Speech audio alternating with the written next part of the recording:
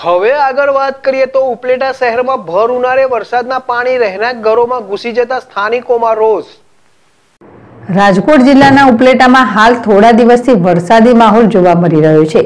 ત્રણેક દિવસ અગાઉ પણ એકાદ ઇંચ જેવો વરસાદ ભર ઉનાળે થયો હતો અને ફરીવાર વધુ પડતા વરસાદને લઈ અહીંના સ્વામિનારાયણ સોસાયટીના ડગલીવાડી વિસ્તારમાં લોકોના રહેણાંક મકાનોમાં વરસાદના પાણી ઘરમાં ઘૂસી જતા લોકો ખૂબ પરેશાન થયા છે.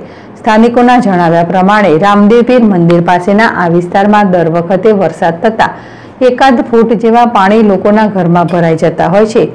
લોકોની ઘરવખરી અનાજ, બાળકોના સ્કૂલના ચોપડા સહિતની ઘરવખરી પાણીમાં પલળી જતા વધુ નુકસાની ભોગવી છે. આ વિસ્તારના રહેવાસીઓ દ્વારા તંત્રને અનેક વખત રજૂઆતો કરવામાં આવી છે. છતાં તંત્ર ઘોર નિંદ્રામાં હોય તેવું લાગી રહ્યું છે અને કોઈ કામકાજ હજુ થયું નથી. જેથી આ વિસ્તારના લોકોએ ફરી એક વખત મીડિયા સમક્ષ પોતાની વ્યથા વર્ણવી.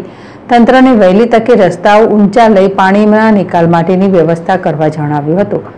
ચોમાસા પહેલા આ પ્રકારની પરિસ્થિતિ છે. ત્યારે ધોધમાર વરસાદ અને ચોમાસા દરમિયાન લોકોની પરિસ્થિતિ કેવી હશે તે તો આના પરથી જ ખ્યાલ આવે. ત્યારે તંત્ર સમસ્યાનું નિરાકરણ લાવે છે કે કેમ? તે તો આવનારા સમયની અંદર જ ખ્યાલ આવશે.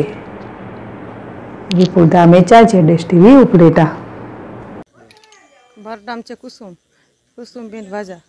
હવે અમારે દર ચોમાસે આના હુરી છે મારે.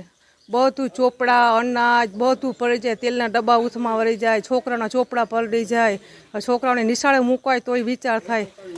હવે બધી ચીજ પલટી જાય છે. તેલ, મસાલા બધું આ સમય તો બાર તેર વર્ષથી આમ નામ છે. કોઈ રોડમાં કોઈ ધ્યાન જ નથી દેતું. વરસાદ પડવાથી અમારી બધી ચીજ બગડી જાય છે. એક એક પાણી રૂમમાં રસોડામાં ફરિયામાં આમ ગોઠણ ગોઠણ હાથ હાથોથી પાણી હોય છે. અમારે આ રોડ ઊંચો લેવાનો રોડમાં કોઈ ધ્યાન નથી દેતું. અને અમારે આ રોડ ઊંચો થઈ જાય ને એ બસ.